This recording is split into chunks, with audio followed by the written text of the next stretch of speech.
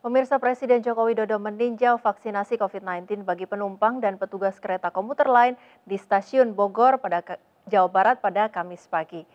Vaksinasi di stasiun Bogor diperuntukkan bagi sekitar 1.500 pengguna kereta rel listrik, pelaku ekonomi di stasiun, hingga masyarakat sekitar dengan vaksin AstraZeneca.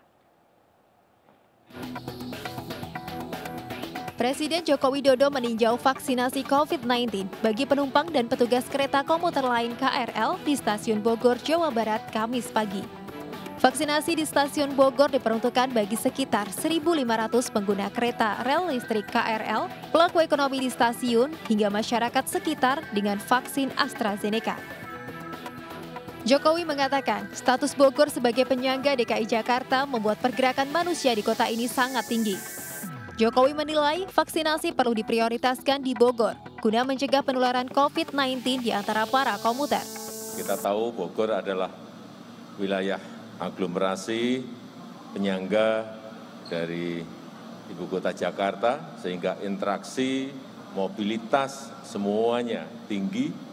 Oleh sebab itu eh, kita ingin memberikan prioritas baik bagi penumpang KRL, kemudian penumpang kereta api, juga para pekerja yang ada di stasiun untuk melindungi mereka dari COVID-19.